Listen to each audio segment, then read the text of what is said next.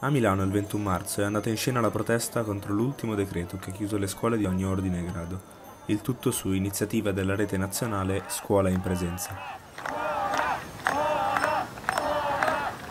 A scendere in piazza Milano centinaia di insegnanti, ragazzi e genitori, anche dei bambini di materne e elementari che a settembre erano stati risparmiati dalle chiusure.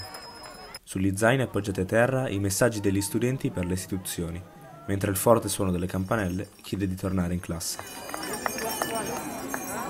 Poco distante a Parco Sempione si mobilita invece la protesta del comitato Priorità alla scuola, caratterizzato invece da musica, spettacoli, danze e laboratori artistici.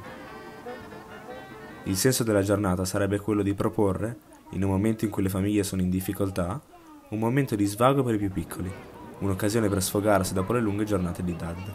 Così, cercando di rispettare il distanziamento, i bambini giocano, cantano e ballano tutti insieme e intanto genitori e insegnanti si alternano dal palco del teatro Burri per chiedere l'impegno del governo per una ripresa sicura delle lezioni, almeno per i più piccoli.